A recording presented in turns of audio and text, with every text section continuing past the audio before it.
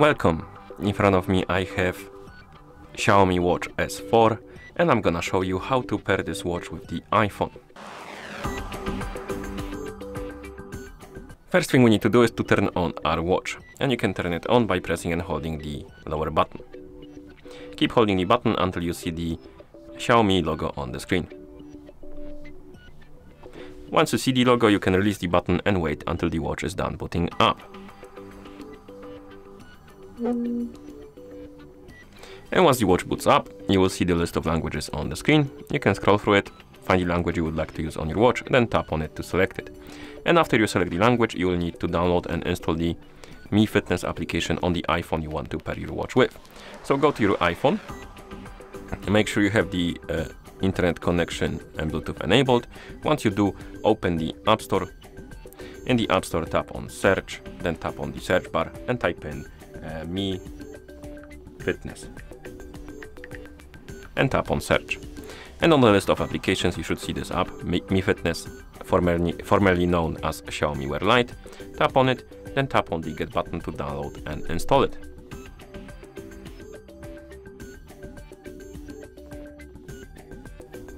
Okay, and once the application is done installing, we can tap on open uh, to open it. In the app, we can tap on start. And if you see this pop up about the Bluetooth devices, tap on allow. Again, let's tap on start. Here we need to check the first box rather. You can also check the second one if you like to. I don't need to, I don't have a feeling. I don't feel like checking it. And then we can tap on agree.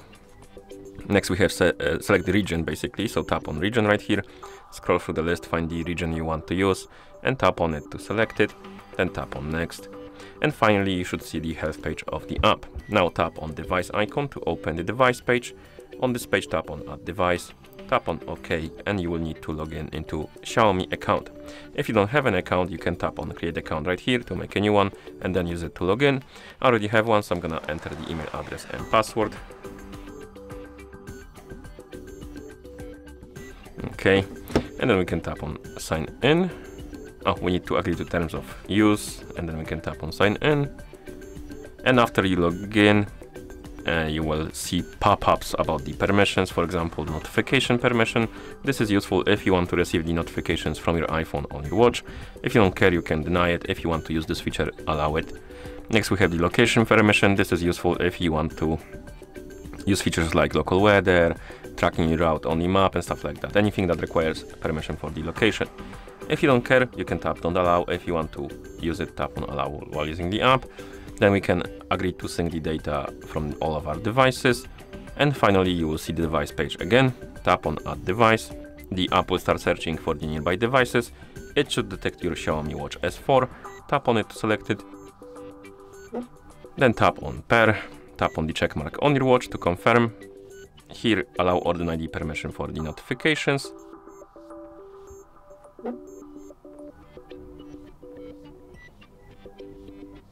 If you see this page, check or uncheck this box. This is about the automatic updates uh, through the um, Wi-Fi network. For some reason, it's in Chinese. I don't know why, but uh, you can check it or uncheck it. Then tap on resume. Here we can select the menu layout, layout rather. Then we can tap on resume. And right here we can uh, enable the notifications for incoming calls. If you want to use them, check the box, tap on resume and allow the required permissions. If you don't care, you can tap on skip to keep it disabled. Uh, Alright, because we need to share the contacts uh, for it to work, so we can select the contact. Uh, and now the contact will be added to the watch, and if it's calling you, it will be displayed on the watch's uh, screen. Okay, let's tap on resume. Here we can uh, also enable the notifications for events and tasks and also uh, current location weather. You can skip it or check the boxes and tap on resume and allow the required permissions. Then we have the wearing guide. And once you're done, you should see the uh, device page and on it there should be your Xiaomi Watch S4. And if you go to your watch, you can go through the tutorial or skip it. And after the tutorial, you should see the watch face on your watch and you should be able to use it, which means that the devices are uh, paired together. And that's how you pair this watch with the iPhone. thank you for watching. If you found this video helpful, please consider subscribing to our channel and leaving a like on the video.